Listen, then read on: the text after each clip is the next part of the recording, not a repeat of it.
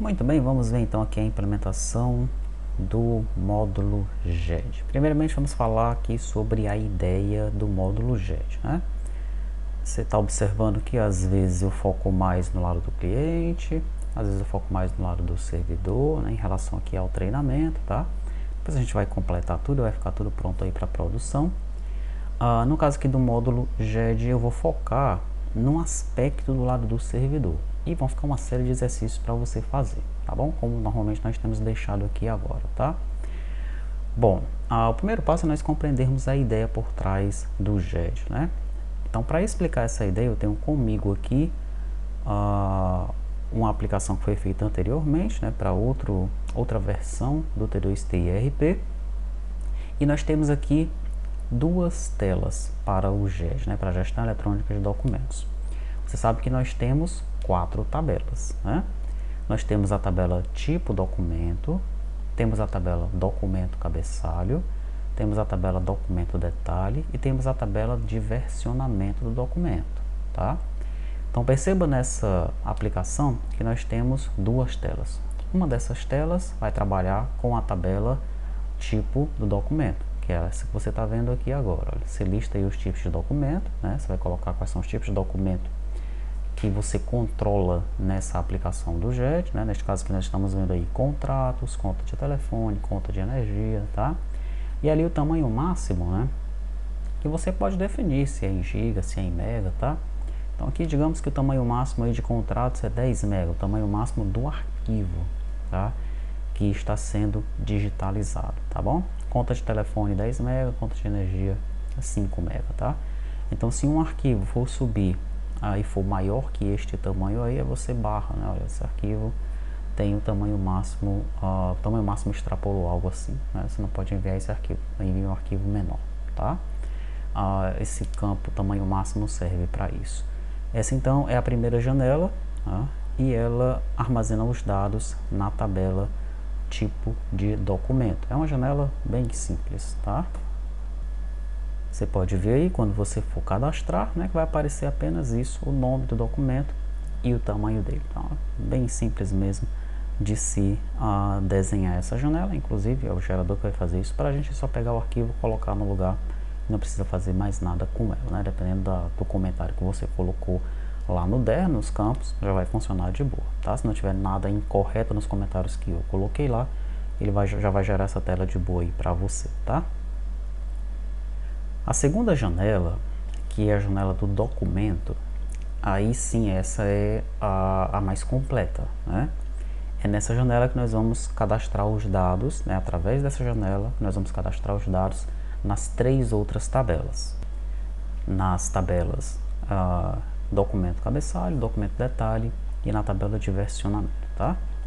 Ok, então como é que a gente cadastra, né? Como é que nós cadastramos os dados ah, nessa tela do documento. Vamos ver aqui a parte da persistência dessa tela, tá? Então veja, é uma tela mestre detalhe, né? No nosso caso lá do Flutter, essa parte aqui de cima, onde você está vendo o nome do documento, a descrição, a data da inclusão e o arquivo selecionado, essa parte aqui de cima é a primeira aba, tá? É a aba de detalhe, que são dados ainda da tabela de cabeçalho, tá bom? Ah, daí você vai ter outras duas abas, tá? Essa primeira que são os detalhes do documento, tá? Daí é aqui nessa aba que você vai selecionar os arquivos que estão no dispositivo, tá bom? Ou que você vai tirar uma foto do arquivo, tá? Nesse primeiro momento nós vamos focar em dispositivos móveis, tá certo?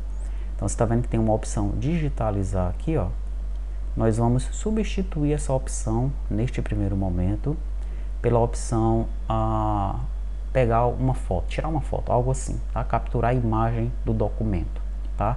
Mas não através de um scanner, tá bom? O scanner nós vamos sim chegar nesse ponto aqui, mas num segundo momento, né? Quando nós estivermos uh, tratando com a aplicação já no desktop, tá? De repente até com ela ali no browser, de repente dá certo nós escanearmos sim com ela no navegador, tá? mas nosso foco neste momento é digitalizar utilizando a câmera do dispositivo móvel, seja ele um celular, seja ele um tablet, tá bom? Então essa opção digitalizar sim é, é, não com o nome digitalizar, ela vai existir mais com o nome de capturar imagem, tá? Aí utilizando a câmera. A opção abrir arquivo ou uh, importar arquivo, pode ser abrir arquivo, também vai existir.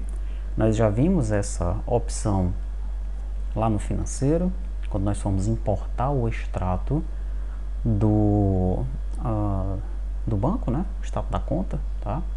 Nós vimos como capturar um dado, né? Um arquivo uh, tanto no dispositivo móvel como para o navegador. Né? No, no browser nós também mostramos lá uma opção de capturar o arquivo. Ela vai existir, essa opção, tá? E a opção visualizar arquivo. É importante que ela exista também. Se for uma imagem, o arquivo ele deve ser apresentado já na mesma tela, tá? Como nós estamos vendo aqui, ó. Como a tela do dispositivo pode ser pequena, né? Então essa imagem ela pode aparecer uh, numa aba que está escondida, daí essa aba ela aparece e apresenta a imagem para o usuário, tá? Ou numa espécie de janela pop-up, né? essa janela lá aparece, exibe a imagem para o usuário e o usuário ao clicar no botão fechar ou ao clicar fora dessa área onde está a imagem ele retorna para a tela anterior, nós temos que pensar nesses aspectos, né, da tela ser pequena, tá no celular ou no tablet, tá bom? E se não for uma imagem, se for um outro documento, você vai tentar abrir esse documento com alguma aplicação que está ali no dispositivo, tá bom? Então, o visualizar arquivo é isso, tá? Se o arquivo, o usuário selecionou um dos arquivos que está aqui no detalhe, tá? Se o arquivo for uma imagem, o visualizar arquivo, neste caso, hum, já deveria funcionar de forma automática, tá bom? A não ser que esse arquivo, você pense da seguinte maneira, não, mas essa imagem está lá no servidor, eu não quero descer logo essa imagem agora. E o usuário, ele então opta por visualizar a imagem. Aí sim, ele clica em visualizar arquivo, aí você desce a imagem do servidor e apresenta para ele. Se for um outro tipo de arquivo, você desce esse arquivo do servidor e tenta executar alguma aplicação no dispositivo que exiba aquele arquivo. É, vamos dizer que seja um PDF. Então você tenta, né, você passa a bola lá para o dispositivo e pede para o dispositivo apresentar aquele arquivo em alguma aplicação existente, tá? Que possa abrir um PDF, tá bom? Muito bem. Então esses dados aqui, ó, são os dados de cabeçalho do documento, né, para você ir pensando em como você desenhar a tela. A tela eu não vou desenhar neste momento, é um exercício para você, tá? A primeira aba é uma aba onde você vai colocando os arquivos que vão subir, tá? Para cada arquivo que vai subir, você tem que gravar o detalhe, tem que gravar o arquivo, tá bom?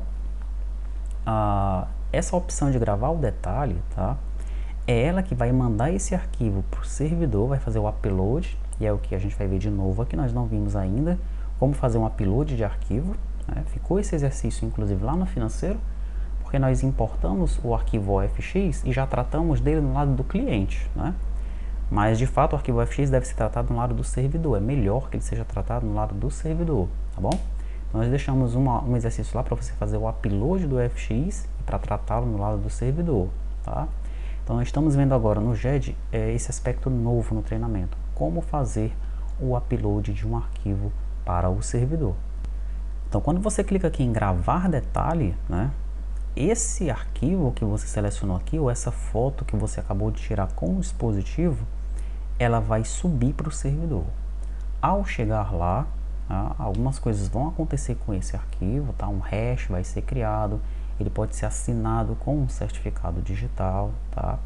Esse arquivo ele vai ser salvo em uma pasta específica lá do GED, né? com um nome específico calculado através de um hash. Tá?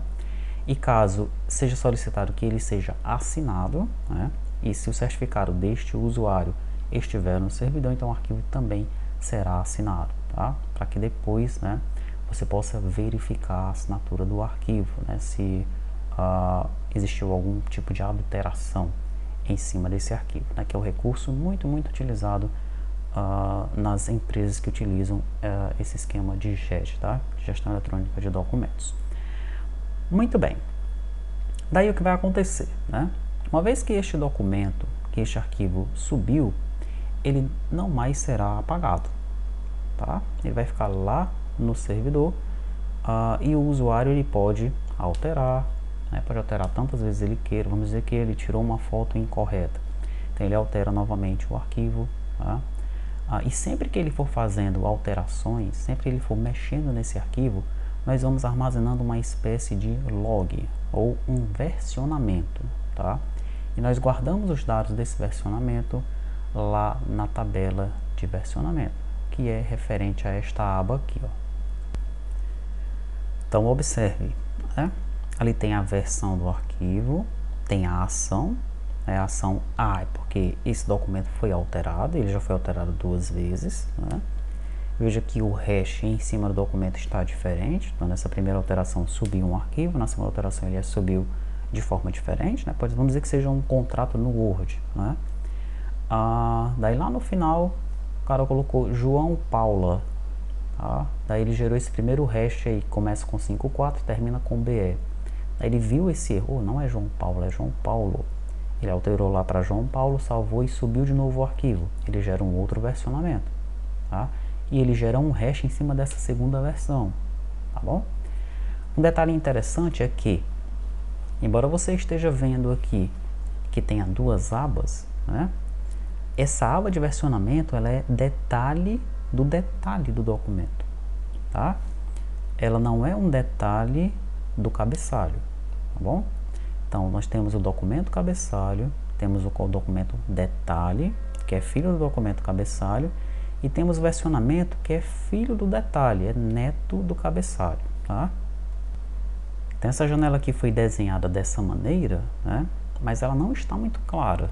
Esse aspecto de que o versionamento ah, é filho do detalhe do documento não está muito claro visualmente olhando para essa tela. Tá?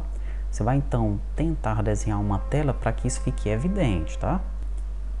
Você pode seguir essa mesma ideia aqui que você está vendo, né? colocar as duas abas, tá bom? Mas pense numa maneira de deixar isso mais claro para o usuário, tá? de que o versionamento é filho do detalhe e não filho do cabeçalho, tá bom? Então, essa parte dessa tela, né, a parte do desenho da tela, eu vou deixar com você por enquanto, tá? O gerador de código vai fazer parte do trabalho, né, como você já sabe, mas você vai ter que ter um trabalhinho a mais, né, para deixar essa tela de tal maneira que o usuário tenha uma boa experiência em utilizá-la, tá bom? Não se preocupe ainda ah, numa tela grande como essa aqui, tá? Você vai desenhar focando um celular, um tablet, tá bom? Com os edits aí, né, os text boxes um embaixo do outro, tá? Lá na segunda versão do sistema, né, na segunda versão do treinamento, melhor dizendo, lá no Pegasus, nós vamos focar em telas maiores, né? Você vai ver como é que a gente pode deixar a experiência do usuário melhor numa tela maior. Não é o foco neste momento, tá? Pronto, então é isso. Agora que você viu a ideia né, por trás do JET, como é que ele deve ser construído aí no lado do cliente, tá? Nós vamos agora partir para ah, os arquivos que foram gerados no lado do servidor. Você vai ver como é que ele está funcionando no lado do servidor. E eu vou focar principalmente essa questão do upload do arquivo, que é bem simples, mas é algo que você não viu ainda que você precisa aprender, tá? E aí vai ficar também um exercício para você realizar no lado do servidor. Vamos ver qual é.